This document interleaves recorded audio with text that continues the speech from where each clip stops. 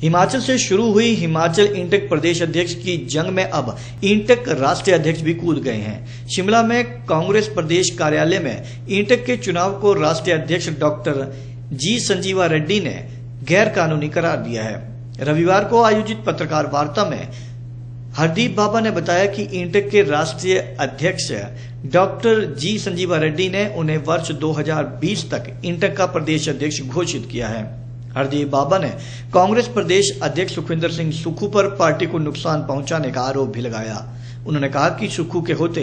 Party कमज़ोर हो चुकी है और कई धड़ों में बढ़ चुकी है। उनके कारण संगठन झगड़ों में लीन है, जिसका खामियाजा आने वाले चुनावों में पार्टी को उठाना पड़ेगा। उन्होंने गुपचुप तरीके से सुक्खू पर शिमला में इंटक के चुनाव करवाने के आरोप भी लगाए। अध्यक्ष हरदीप बाबा के समर्थन में इंटक के राष्ट्रीय अध्यक्ष डॉक्टर संजीवा रेड्डी ने पत्र जारी कर 2020 तक इंटेक प्रदेश अध्यक्ष उन्हें घोषित किया है। उन्होंने कहा कि शिमला में हुए चुनावों में पर्यवेक्षक नियुक्त नहीं किया गया था, जो स्पष्ट करता है कि शिमला में इंटेक के हुए चुनाव असंवैधानिक हैं। बाबा ने कहा कि सुखविंदर सिंह सुक्खू उन्हें इंटेक का राष्ट्रीय अध्यक्ष नहीं मानते हैं, जबकि कांग्रेस राष्ट्रीय अध्यक्ष डॉक्टर जी संजीवा रेड्डी को राष्ट्रीय अध्यक्ष की मान्यता प्राप्त है। जो इंटेक का चुनाव कराने का प्रयास सुखविंदर सिंह सुक्खू जी ने किया, वो टोटली फ्रॉड चुनाव जो है,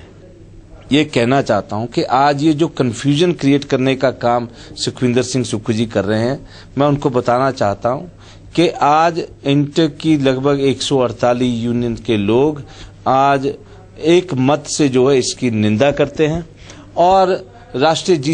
राष्ट्रीय अध्यक्ष डॉक्टर जी संजीवा रेड्डी जी जो हमारे राष्ट्रीय इंटेक के अध्यक्ष हैं और कांग्रेस वर्किंग कमेटी के मेंबर है पूर्व राज्यसभा सांसद हैं और पूर्व मंत्री भी जो है आंध्र सरकार में रहे हैं उनको जब हम लोगों ने सूचित किया जो घटनाक्रम पिछले कल हुआ उन, उन्होंने बहुत ही स्टर्न एक्शन लेने का जो है वो फैसला किया। तो कोई भी इनके द्वारा जो ये इलेक्शन कराया गया है, इसका कोई लोकल स्टैंड नहीं it is all null and void